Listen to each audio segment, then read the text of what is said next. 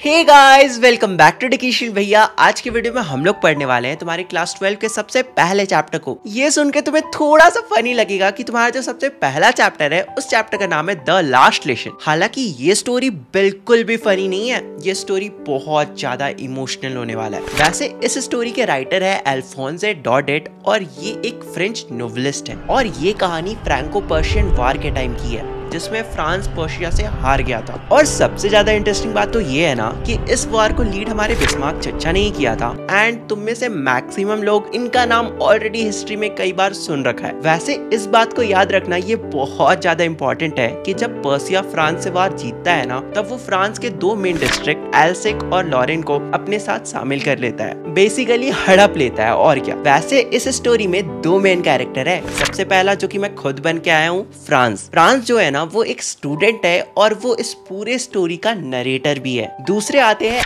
M हैमल जो कि एक फ्रेंच टीचर है। और वैसे देखा जाए तो इस स्टोरी में एक और कैरेक्टर है, लेकिन वो मेन कैरेक्टर नहीं है। तुम उसे साइड कैरेक्टर मान सकते हो। उनका नाम है हाउजर और ये एक विलेजर है, जो कि रिटायर्ड मेयर है। ओके? देखो, मेरा नाम है फ्रांस और मैं स्कूल निकलने के लिए बहुत ज़्यादा लेट हो चुका हूँ, क्योंकि मुझे बहुत ज़्यादा डर लग रहा है कि एम हेमेल मुझे आज बहुत ज़्यादा डांटने वाले हैं। वैसे एम हेमल हमारे फ्रेंच टीचर हैं और वो आज बहुत सारे क्वेश्चन पूछने वाले हैं। बेस्ड ऑन पार्टिसिपल्स और मुझे पार्टिसिपल्स का पी भी नहीं आता है। और यही रीजन है कि मैं स्कूल निकलने के लिए इतना लेट कर रहा हूँ क्योंकि मुझे डांट खाने का कोई शौक नहीं है। और इसलिए मुझे डर भी लग रहा है। वैसे मैं बंक भी कर सकता हूँ क्योंकि डांट खाने से तो अच्छा ही है ना कि मैं इधर उधर घूम के टाइम पास कर लूँ। शाम तक मैं इधर उधर घूमूँगा और फिर वापस घर आ जाऊँगा, किसी को कुछ पता नहीं चलेगा। वैसे आज का दिन भी कितना अच्छा है ना, कितना वार्म है, कितना ब्राइट है और ये जो बर्ड्स है, ये जो चिड़िया है, वो कितने प्यारे प्यारे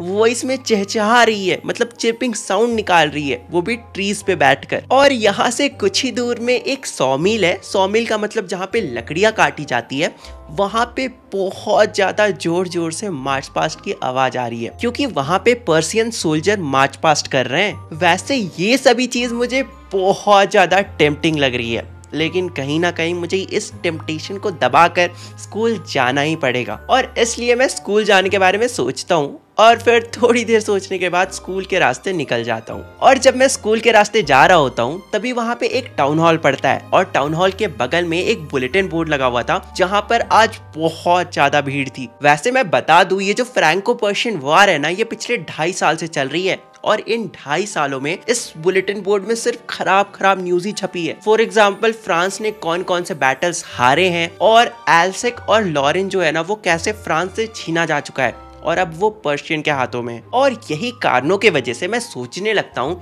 कि आज इस बुलेटिन बोर्ड के सामने इतना भीड़ क्यों है? मतलब आज क्या नोटिस आया है? ज़रूर आज भी कुछ बहुत ही ज़्यादा बुरा छपा होगा। और यही सब चीज़ें मेरे माइंड में चल रहे होते हैं जब मैं स्कूल के रास्ते जा रहा होता हूँ। मैं चाहता तो जाके वहाँ पर देख सकता था, लेकिन मैं स्कूल के लिए बहुत ज़्यादा लेट हो रहा था। तभी मैं देखता हूँ कि उस बुलेटिन बोर्ड के पास में एक ब्लैक खड़ा था। और उस ब्लैक के साथ एक ट्रेनी भी था। ट्रेनी मतलब जो उसके अंदर काम करता है। तो वो ब्लैक स्मिथ मेरे तरफ़ देखता है और सरकेस्टिक वे में कहता है, अरे फ्रांस तुम्हें इतनी जल्दी क्यों है? आराम से आओ, खड़े होकर देख लो क्या लिखा हुआ है यहाँ पे। वैसे भी अभी स्कूल स्टार्ट होने में बहुत ज़्यादा टाइम है। बेसिकली वो मेरी फिरकी ले रहा था। और लेगा भी क्यों नहीं, मैं स्कूल के लिए ऑलरेडी बहुत ज़्यादा लेट हो चुका था। इसलिए मैं अब जल्दी जल्दी अपने फुर्ती बढ़ाता हूँ, अपना फुर्ती बढ़ाता हूँ और स्कूल के गार्डन के पास तक पहुँच जाता हूँ। देखो, जब मैं यूजुअली स्कूल जाता था तो बहुत ज़्यादा शोर शराबा होता था, बहुत ज़्यादा नॉइज़ होता था। लेकिन आज ऐसा बिल्कुल भी नहीं था। नॉर्मली क्या होता था, जब मैं स्कूल जाता था तो डेस्क का आवाज़ आता था डेस्क में पटकने का आवाज़ आता था। जो टीचर होते हैं, वो जब रूलर स्केल से ऐसे करके मारते हैं डेस्क पे तो वो वाली आवाज़ भी आती थी जो बच्चे होते थे जो स्टूडेंट्स होते थे जब वो आ, अपने चैप्टर को पढ़ रहे होते थे जब वो अपने चैप्टर को रिसाइट कर रहे होते थे तो उस वक्त भी रिसाइटिंग की आवाज़ आती थी। लेकिन आज बिल्कुल भी ऐसा नहीं था। आज मैं जब स्कूल में घुसा तो मुझे लगा आज कहीं संडे वनडे तो नहीं है क्योंकि इतना ज़्यादा शांति कैसे हो सकता है मेरे स्कूल में? पहले क्या होता था, जब मैं स्कूल में घुसता था ना तो पहले मुझे दोनों हाथों से अपने कान को ऐसे बंद करना पड़ता था, फिर ध्यान लगा के समझना पड़ता था कि आखिर आसपास चल क्या रहा है। लेकिन आज तो लिटरल वाला पिन ड्रॉप साइलेंस था। इसलिए फिर मैं जल्दी से अपनी क्लास पहुँचता हूँ और फिर हुलक कर अंदर देखता हूँ मतलब झाँक कर अंदर देखता हूँ तो देखता हूँ जितने भी स्टूडेंट्स हैं ना, सभी अपने डेस्क पे शांति से बैठे हुए हैं। और हमारे फ्रेंच टीचर एम हेमल जो है ना, वो एक बड़ा सा आयरन का जो रूलर है, वो अपने आम के बीच में ऐसे फंसा कर चल रहे हैं। ये सब देखकर तो मेरी लिटरल वाली फट जाती है। मतलब मैं बहुत ज़्यादा डर जाता हूँ, क्योंकि कोई टीचर ऐसे चल रहा है और उन्हीं के क्लास में मैं पढ़ के भी नहीं आया हूँ और ऊपर से मैं लेट भी हूँ तो मतलब किसी की भी फटी जाएगी ब्रो इसलिए मैं बहुत ज़्यादा डर डर के क्लास के अंदर घुसता हूँ। लेकिन सरप्राइजिंग बात तो ये था कि जो एम एल थे ना, वो मुझे बहुत ही ज़्यादा पोलाइटली बोलते हैं कि, जाओ अपने सीट पे जाके बैठ जाओ, फ्रांस, वरना आज हम तुम्हारे बिना ही क्लास स्टार्ट करने वाले थे.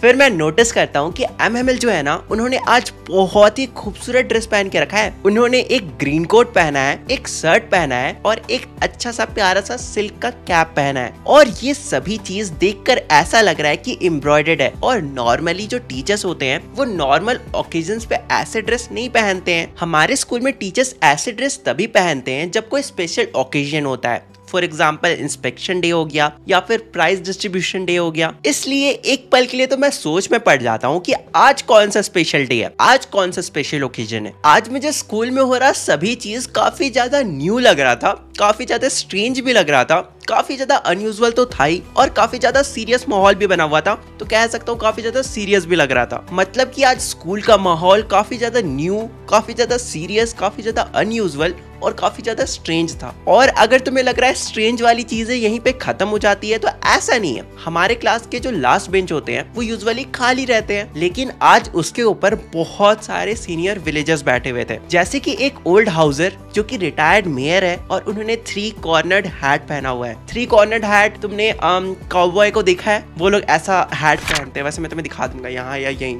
कहीं कहीं दिखा दूँगा तुम्हें बस। फिर एक पोस्ट मास्टर भी बैठे हुए थे और बहुत सारे सीनियर विलेजर्स और भी बैठे हुए थे। वैसे पीछे बैठे हुए जो हाउसर थे ना, वो एक प्राइमरी किताब लाए हुए थे और वो जो किताब थी, वो बहुत ज़्यादा पुरानी थी और साइड साइड से फट भी गई थी। जो हाउजर होते हैं, वो उस बुक को अपने नी पर रखकर खोलते हैं और फिर अपने टेस्टिक जो हाउजर होते हैं, वो उस बुक को अपनी नी पर रखते हैं और फिर अपने स्पेक्टिकल्स मतलब जो चश्मा होता है, उसे उतारते हैं और उस बुक के ऊपर रख देते हैं। फिर एम हेमल जो होते हैं ना, वो काफ़ी स्ट्रेंज टोन में कहते हैं कि अब तुम सभी लोग मेरी बातों को ध्यान से सुनना, क्योंकि आज ये तुम सभी का फ्रेंच का दी लास्ट लेसन है। इसके बाद तुम सबको कभी भी फ्रेंच नहीं पढ़ाया जाएगा। क्योंकि बर्लिन से ऑर्डर आया है कि अब से एल्सिक और लॉरेन डिस्ट्रिक्ट में फ्रेंच नहीं पढ़ाया जाएगा और फ्रेंच को एज अ सब्जेक्ट नहीं रखा जाएगा। अब से तुम सबको लैंग्वेज सब्जेक्ट में सिर्फ़ जर्मन ही पढ़ना पड़ेगा। इसलिए मैं उम्मीद करता हूँ कि तुम लोग आज ये इस लास्ट लेसन को ध्यान से सुनोगे। शायद अब मुझे समझ में आ रहा है कि आखिर टाउन हॉल के पास वाले बुलेटिन बोर्ड में इतनी भीड़ क्यों लगी हुई थी? क्या सचमुच अब मुझे फ्रेंच पढ़ना छोड़ना होगा? क्योंकि मुझे अभी तक फ्रेंच तो ढंग से बोलना और लिखना भी नहीं आता। काश मैंने फ्रेंच लैंग्वेज को अच्छे से पढ़ा होता। मैंने जो टाइम वेस्ट करा है बर्ड्स के एक को हंट करने में, वो नहीं करा होता। काश मैंने जो टाइम वेस्ट करा है सार रिवर के पास खेलने में, उस टाइम को मैंने वेस्ट नहीं किया होता। काश मैंने फ्रेंच लैंग्वेज को पढ़ा होता। कुछ वक्त पहले तक तो मुझे जो फ्रेंच बुक्स थे ना, वो बहुत ज़्यादा हेवी मतलब कि मुझ पर बहुत ज़्यादा बर्डन लगते थे। लेकिन अब वही बुक मुझे एक बेस्ट फ्रेंड की तरह लग रहा है, जिसे मैं छोड़ना नहीं चाहता। वैसे मुझे ये भी समझ में आ रहा है कि आज एम एम एल गुस्सा क्यों नहीं कर रहे क्योंकि शायद आज एम एम एल का आखिरी दिन है इस स्कूल में। और कोई भी टीचर अपने आखिरी दिन ऑफ़ स्कूल में गुस्सा तो नहीं करेगा ना। और शायद अब मुझे ये भी समझ में आ रहा है कि एम एम एल ने इतना अच्छा ड्रेस क्यों पहन रखा है। आखिर आज वह स्पेशल ओकेजन क्या है? मुझे इस बात को सोचकर बहुत ज़्यादा बुरा लग रहा है कि अब मैं एम एम एल से कभी भी नहीं पढ़ पाऊँगा। और शायद अब तो मैं कभी फ्रेंच ही नहीं पढ़ पाऊँगा। और मुझे ये भी समझ में आ रहा है कि जो लास्ट बेंच में विलेजर्स बैठे हुए हैं ना, वो शायद बस इसलिए आए हैं ताकि वो एम हेमल को गुड बाय कह सके। एक आखिरी बार जो एम हेमल ने पिछले 40 साल से बेसिकली जो एम हेमल थे ना, वो पिछले 40 साल से उस स्कूल में पढ़ा रहे थे। तो जो विलेजर्स थे, वो चाहते थे कि एक आखिरी बार उनके फेथफुल सर्विसेज़ को, जो उन्होंने 40 साल तक पढ़ाया है, उसके लिए वो वहाँ पे आए हैं और वो उन्हें एक लास्ट गुड बाय कहना चाहते हैं। बेसिकली जो विलेजर्स हैं, वो उन्हें शुक्रिया और गुड बाय कहने आए ये सब कुछ मुझे समझ ही आया होता है कि तभी एम मुझे बोलते हैं कि, फ्रांस, अब तुम्हारी बारी है। चलो मुझे पार्टिसिपल्स के रूल्स के बारे में बताओ। मैं खड़ा होता हूँ और फिर कोशिश करता हूँ कि मैं बिल्कुल सही बोलूँगा, बिल्कुल क्लियर बोलूँगा। लेकिन जैसे ही मैं बोलना स्टार्ट करता हूँ, मैं पहला वर्ड बोलता हूँ, मैं तभी डगमगा जाता हूँ। क्योंकि मैंने अच्छे से पढ़ा ही नहीं होता है। लेकिन जो एम होते हैं ना, वो यूजुअली अगर मुझे इस हालत में देखते तो बहुत ज़्यादा डांटते। लेकिन आज वो मुझे डांटते नहीं है, बल्कि कहते हैं कि फ्रांस में तुम पे चीखूँगा नहीं, लेकिन तुम्हें बुरा लगना चाहिए। क्योंकि तुम रोज कहते थे ना कि तुम इन सब चीज़ों को पढ़ कर आओगे, इन सब चीज़ों को जल्दी सीख जाओगे। लेकिन देखो, अब क्या हुआ है? तुम्हें फ्रेंच लैंग्वेज अच्छे से बोलना और लिखना भी नहीं आता है। और ये एलसेक डिस्ट्रिक्ट की एक बहुत बड़ी प्रॉब्लम है। और वैसे भी अब कल से तुम लोग फ्रेंच तो पढ़ने वाले हो नहीं, क्योंकि इस डिस्ट्रिक्ट में अब फ्रेंच नहीं पढ़ाया जाएगा। और कल से जो लोग तुम्हें रूल करने आएँगे, जो लोग हमें रूल करने आएँगे, अब उनके पास पूरा राइट है कि वो लोग कह सके कि तुम लोग तो कहते हो कि तुम लोग फ्रेंचमैन हो, लेकिन तुम सभी को अपनी खुद की लैंग्वेज नहीं आती। पर फ्रेंड्स इसमें तुम्हारी कोई गलती नहीं है। इसमें गलती मेरे और तुम्हारे पेरेंट्स दोनों की है। तुम्हारे पेरेंट्स तुम पे ध्यान नहीं देते थे कि तुम क्या पढ़ रहे हो। उनको तो बस यही मतलब था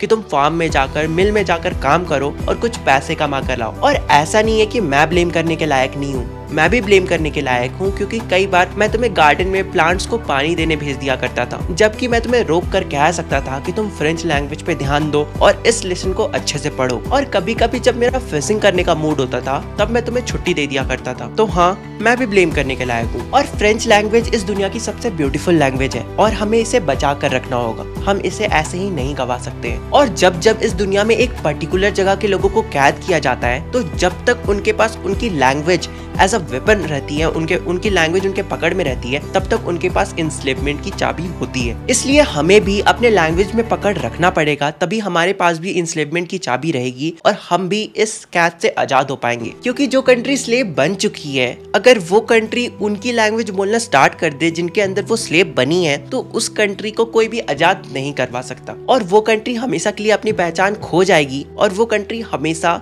एक दूसरे कंट्री के अंदर गुलाम रह जाएगी। इसलिए हमें हमारे लैंग्वेज पे हमेशा पकड़ रखना चाहिए, ताकि हम एक दिन आज़ाद हो सके। इसके बाद एमएमएल एक ग्रामर की बुक लेते हैं और उसमें एक लेसन को खोलकर सबको पढ़ाना स्टार्ट कर देते हैं। और ये पहली बार था जब मुझे एम जो कुछ भी पढ़ा रहे थे, सब कुछ अच्छे से समझ में आ रहा था। इवन जो एम एम एल भी थे ना, वो भी काफ़ी इंटरेस्ट के साथ, काफ़ी डिटेल में उस चैप्टर को, उस लेसन को पढ़ा रहे होते हैं। क्योंकि ऑब्वियसली ये उनका दी लास्ट लेसन है और वो नहीं चाहते थे कि उनका कोई भी स्टूडेंट उनका कोई भी बच्चा उस ग्रामर के लेसन को ना समझ पाए। इसलिए एमएमएल को खुद जितना भी पता था फ्रेंच लैंग्वेज के बारे में और उस लेसन से रिलेटेड उन्हें जितना भी पता था, वो सभी कुछ डिटेल में सामने वाले स्टूडेंट्स को समझाना चाहते थे। फिर एमएमएल ग्रामर सेक्शन कंप्लीट करवाने के बाद राइटिंग सेक्शन को भी कंप्लीट कराने की कोशिश करते हैं। और फिर इसके बाद एम ने अपने सारे स्टूडेंट्स के लिए बहुत सारी कॉपीज बेसिकली जो नोटबुक होता है ना, वो लाया होता है। डिस्ट्रीब्यूट करने के लिए और उन सारे कॉपीज के ऊपर लिखा हुआ था फ्रांस एल्सेक फ्रांस एल्सेक। मतलब कि जो एल्सेक डिस्ट्रिक्ट है ना, वो हमेशा से फ्रांस का था और फ्रांस का रहेगा। और फिर जब सारे कॉपीज को डिस्ट्रीब्यूट किया जाता है और सभी के बेंच के ऊपर रखा जाता है ना तो ऐसा लग रहा था कि लाइन से जो कॉपीज है ना, वो कॉपीज नहीं है, बल्कि एक फ्लैग है। और जो सारे फ्लैग है ना, वो एक रॉड के माध्यम से बेसिकली बेंच ऐसे ऐसे करके रखे जाते हैं ना तो ऐसा लग रहा था कि एक रॉड के माध्यम से सारे जो फ्लैग्स है, वो कनेक्टेड है। मतलब कि वो जो कॉपीज को बेंच में रखा जाता है, इस अरेंजमेंट में रखा जाता है कि ऐसा लग रहा था कि जो भी कॉपीज है ना लाइन से, वो कॉपीज नहीं, बल्कि फ्लैग है और सभी एक बड़े से, मोटे से रॉड से कनेक्टेड है। इसके बाद पूरा क्लास शांत हो जाता है और सभी अपने कॉपी में लिखने लगते हैं। इस मोमेंट पे इतना ज़्यादा पेन ड्रॉप साइलेंस था कि सिर्फ़ स्क्रैचिंग ऑफ़ पेन की आवाज़ सुनाई दे रही थी। मतलब कि इस मोमेंट पे जो बच्चे अपने कॉपी में लिख रहे थे ना पेन से,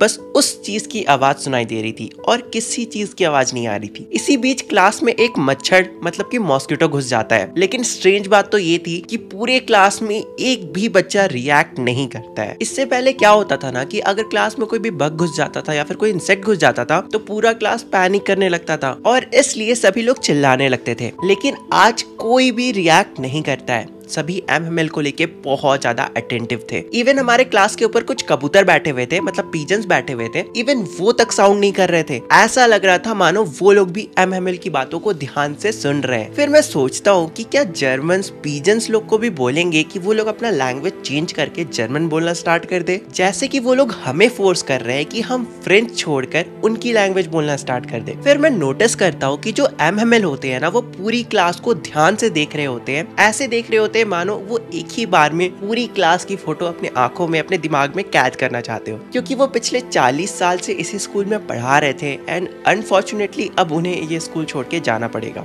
फिर मैं मन ही मन सोचता हूँ कि आखिर पिछले 40 साल में क्या क्या बदला है। वैसे देखा जाए तो ज़्यादा कुछ नहीं बदला है। बस जो मेरे सामने डेस्क और चेयर और टेबल्स रखे हुए हैं, वो थोड़े पुराने हो गए चालीस साल पहले जो मैंने वैलनेट ट्री का प्लांट लगाया था, वो अब बहुत ज़्यादा बड़ा हो चुका है। बेसिकली वो एक ट्री बन चुका है। और जो 40 साल पहले मैंने हॉपवाइन का प्लांट लगाया था वो इतना ज़्यादा लंबा हो चुका है कि अब वो स्कूल के रूफ मतलब स्कूल के छत तक आता है। तो हाँ पिछले 40 सालों में इतना ज़्यादा कुछ नहीं बदला है। राइटिंग सेक्शन के बाद लेसन ऑफ़ हिस्ट्री होता है और इसके बाद होता है फेनोटिक्स फेनोटिक्स में सभी बच्चे, सभी स्टूडेंट्स बिल्कुल छोटे बेबीज की तरह सारे अल्फ़ाबेट को रिसाइट कर रहे होते हैं। जो फ्रेंच अल्फाबेट्स होते हैं ना, उन्हें। फिर मुझे सुनाई देता है कि एम हेमिल की जो बहन है, जो सिस्टर है, वो पैकिंग करके वहाँ से निकल रही होती है। क्योंकि अगले ही दिन उन्हें एलसेक छोड़कर जाना था। और फिर इसके बाद चर्च का घंटा बजता है और जो क्लास होता है, वो खत्म हो जाता है। फिर मैं देखता हूँ कि जिन सोल्जर्स को मैंने सुबह में देखा था मार्च पास्ट करते हुए, वो सभी वापस आ रहे होते हैं। वो भी ढोल बाजा बजाते हुए। और फिर इसके बाद क्योंकि क्लास खत्म हो जाता है तो सभी विलेजर्स जो पीछे बैठे हुए थे, वो खड़े हो जाते हैं एमएमएल को रिस्पेक्ट देने के लिए। इवन जो ओल्ड हाउसर भी होते हैं ना, वो भी खड़े हो जाते हैं। पहले तो ओल्ड हाउसर अपने चश्मे को पहनते हैं बुक को हाथ में लेते हैं और फिर खड़े होकर बोलने लगते हैं। लेकिन जब वो बोल रहे होते हैं ना तो ऐसा लग रहा था कि वो बिल्कुल रोने जैसा हो चुके हैं। वो जो ओल्ड हाउसर थे उनकी आवाज़ में बहुत ज़्यादा कपकपाहट थी और इससे साफ़ पता चल रहा था कि वो रो रहे हैं। और एक तरफ़ तो ये देखकर काफ़ी फनी लग रहा था कि वो इतने मैच्योर है इतने ज़्यादा ओल्ड है फिर भी रो रहे हैं। लेकिन एक तरफ़ मैं भी बिल्कुल ओल्ड हाउसर की तरह ही एम एल को लेकर बहुत ज़्यादा इमोशनल हो चुका था। बस एम एल को लेकर नहीं इस लास्ट लेसन को लेकर। इसके बाद मैं क्लास से कुछ कहना चाहता था। आई आई आ, आई लेकिन मैं कुछ कह नहीं पाता हूँ। इसलिए मैं मुड़ता हूँ बोर्ड की तरफ़ और अपने हाथ में चौक लेता हूँ। और जितना बड़ा हो सकता था, जितना बड़ा हो सकता था, उतने बड़े लिखने की कोशिश करता हूँ और लिखता हूँ वी आर लव फ्रांस जिसका मतलब होता है लॉन्ग लिव फ्रांस इसके बाद एम एम एल जो होते हैं ना, वो हमारी तरफ़ टर्न नहीं होते हैं। वो वॉल के साइड ही रहते हैं। इसके बाद एम एम एल थोड़ा बेंड होते हैं और अपने जेस्चर से बताते हैं कि अब क्लास खत्म हो चुका है और वो अब जा रहे हैं। एंड इस तरह से तुम्हारा ये जो स्टोरी है, वो खत्म होता है। देखो, अगर तुम्हें वीडियो पसंद आता है तो तुम प्लीज़ शेयर कर दिया करो। तभी व्यूज़ आएँगे और अगर व्यूज़ आएँगे, तभी तो वीडियो रैंक करेगा। और अगर वीडियो रैंक ही नहीं करेगा तो फिर ये वीडियो किसी तक पहुंचेगा ही नहीं, ठीक है? मतलब मैं लालची नहीं हो रहा हूँ। मैं बस चाहता हूँ कि सभी तक ये वीडियो पहुँचे। इसमें लालच भी ऐड कर लो थोड़ा सा। ठीक है? तुम लोग से मिलते हैं अगले वीडियो में। तब तक के लिए बाय बाय और आई होप सो तुम लोग इस वीडियो में टू के लाइक्स कर दोगे। कमेंट सबसे ज़्यादा इंपॉर्टेंट है। तुम लोग कमेंट ही नहीं करोगे तो पता ही नहीं चलेगा ना। वीडियो अच्छी थी, बुरी थी नॉर्मल थी एवरेज थी और हाँ कुछ तुम्हें लाइक कहीं पे प्रॉब्लम लगे, कोई पार्ट समझ में नहीं आ रहा तो तुम लोग कमेंट कर दिया करो कि इस पार्ट को तुमने अच्छे से एक्सप्लेन नहीं किया। मतलब आपने, तुमने, तुम्हें जो बोला बोलो, मैं यार, भैया हूँ तुम्हारा टीचर थोड़ी हूँ। अब मैं जा रहा हूँ। Bye bye